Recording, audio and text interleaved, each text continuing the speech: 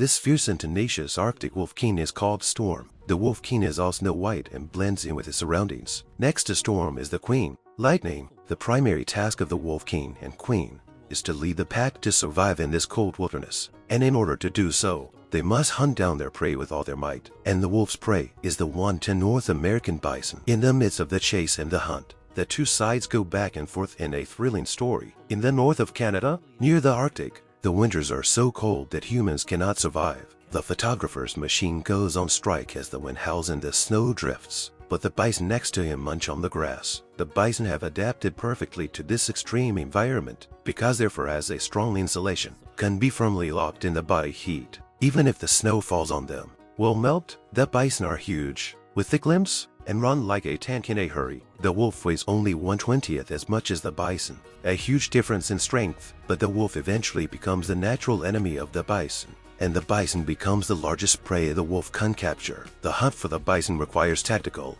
tacit cooperation between the entire pack. After the storm stops, the wolf king leads the pack in a roundup, and as the leader of the pack, strength and intelligence are essential. The king leads the pack from the back, trying to get the bison to run, but the bison are not impressed, knowing that only a frontal defense will give them an advantage. After all, they have strong horns. The wolves didn't move easily. They hovered around the herd, waiting for an opportunity to move. Wolves have a bloodline suppression of the bison, and herbivores are instinctively afraid of their natural enemies. Once a bison is cowed and begins to run for its life, the whole herd will run in chaos, and the wolves will have their chance. In the process of chasing and rounding up, wolves will observe and target the weaker targets, which will reduce the risk and increase the success rate of hunting. Deep snow becomes an obstacle to the bison's escape, and the snow causes the bison to burn out quickly. The bison stepped out in front, causing the wolves to follow, saving them a lot of effort. When the wolves reach the brush, the herd is broken up. The king of the wolves, Storm, quickly locks onto a half-sized bison and bites it on the hind leg. The bison tries to fight back, but Storm will never let go. One of Storm's cubs has a chance to take on the bison alone, but it's still too young and lacks hunting skills. It tries to take the bison down head-on, but he is trampled by the bison's feet. The cub wails in agony, probably breaking bones or rupturing internal organs. Scattered traces of blood were left on the snow. The wolf cub's inexperience has cost it dearly. Surviving in such a harsh environment means making no mistakes, or else you will be killed or injured. In contrast, his father, Storm, is an experienced hunter with only his own strength.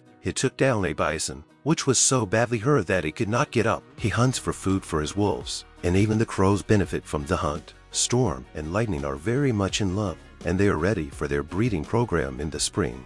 As winter turns to spring, the whole land comes to life, and the meandering river rushes on and on. The banks of the river are lined with dense coniferous forests, and a variety of migratory birds have returned to their nests. The storm family is also enjoying the spring breeze, playing and enjoying the quiet time. Wolves also have a tender side, and the family is very close-knit. The wolves have shed their winter coats and their fur has become darker in color, allowing them to be more stealthy when hunting in the spring. The bison herds are in breeding season, with many females giving birth to babies, and cats a few months old are easy prey. It's also the only time of year when wolves can hunt bison smaller than themselves. Lightning is scouting near the bison herd, and then she lets out a cry for support. The wolf's battle group responds quickly and soon reaches its destination. The calves are easy to deal with, but with the adult bison close by, the wolves have a tougher time hunting them. The wolf's method of hunting is to force the bison herd to run. As the herd runs in panic, the whole group gradually runs in a straight line,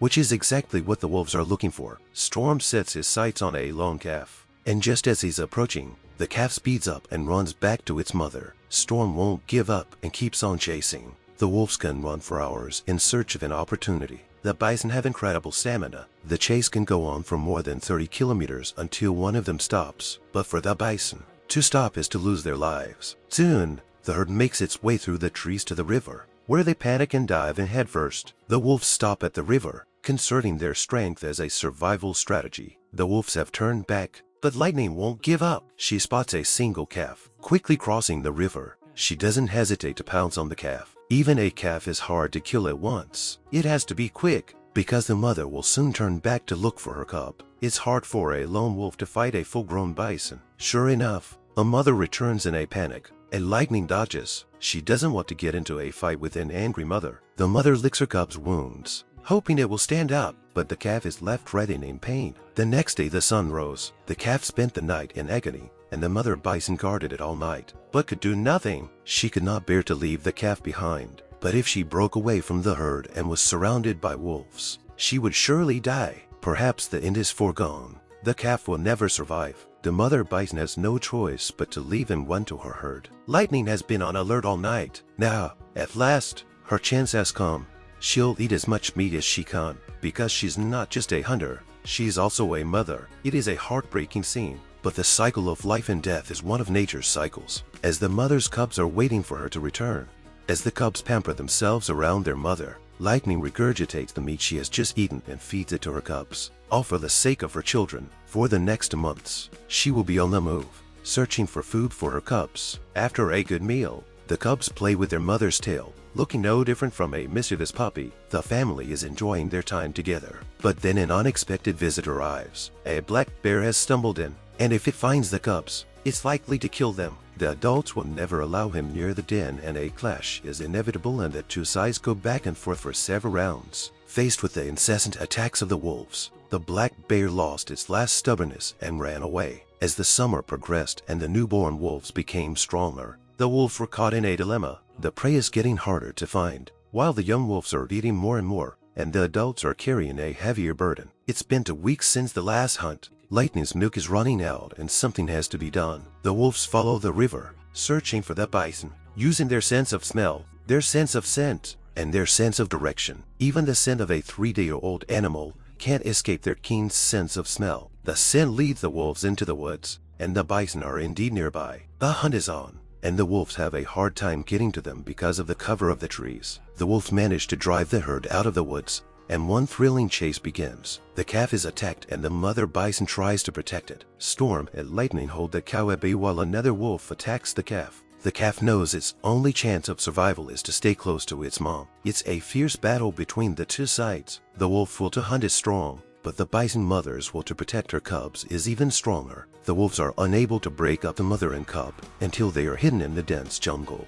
The wolves follow, but eventually, the bison mother and son get rid of them and accidentally save a stray calf. The wolves eventually return empty-handed, and tonight the cubs will have to go hungry. The pack has been without food for more than 10 days, and many of the pups have died from lack of food. Storm and Lightning will have to work harder to keep the cubs alive through the summer of famine. As September rolls around, fall is in full swing and the bison enter their mating season. The females in heat secrete sex hormones, and the bison sniff for a mate. Once mated, the females give birth to their young in the spring and summer after a nine-month gestation period. At this time, the storm family has also changed a lot. The weak pups have grown into half-grown wolves, and the hunting party has grown even bigger. A whole pack went out on this hunt, but the wolves still found nothing until they reached the peninsula. The pack decided to take the risk of crossing the river and move on. The river was three kilometers wide, and the water was very cold and blocked by a countercurrent. When the pack was halfway across, Lightning suddenly turned around and swam back, followed by the cubs. When it was a matter of life and death, Lightning's choice was a wise one, as the wolves were not yet adults and their endurance was far from enough so the risk of swimming long distances was too great. As expected, the cubs were very tired when they came ashore. The other adult wolves, led by Storm, swam towards the other side of the river without looking back. After much effort, they finally made it to the shore. This is a patch of grass they have never set foot in before, and they hope to catch something here so that they can bring some food back to their children. But there was nothing here but a dried skeleton, and they were so hungry that they had to nibble on the remains. Suddenly there is a distant howl from the other side of the river. The call of lightning and the children. Storm raises his head to the sky to tell his wife and children that he is safe. The sound of wolf's howls has a strong penetrating power, which is an important way for them to convey information, and is also a bond for them to maintain their relationship. The cubs call out eagerly for their father's safe and early return. The next morning, the whole family is reunited for a new round of tracking and hunting. The bison are in the wooded meadow and the wolves are prowling around, looking for an easy target. The wolves follow the same tactics as before, chasing the bison into a straight running formation. But the bison are all adults, making them difficult for the wolves to hunt. In the midst of the intense chase, Storm suddenly turned and ran to the other side, and the wolves followed Storm to the front of the two bisons. The two bisons, one young, one old, were the one Storm was after, the young bison took advantage of the storm to escape. leaving the old bison standing in the woods. He seemed to know he was doomed. The next morning, the wolves were already enjoying their meal, and there was no sign of any fight around. It's likely that the old bison died of fear and agony. The wolves had waited for their turn and did not attack. They seemed to smell the scent of death. This mysterious power is not possessed by humans, whose vaunted industrial civilization lies at the edge of the bison sanctuary. Humans have begun to encroach on their ancient home. Since industrial civilization, man's rapacious predation has led to the extinction of more than half of all living things. Hundreds of millions of creatures die every day at the hands of man's butchery. Who is crueler, man or wolf?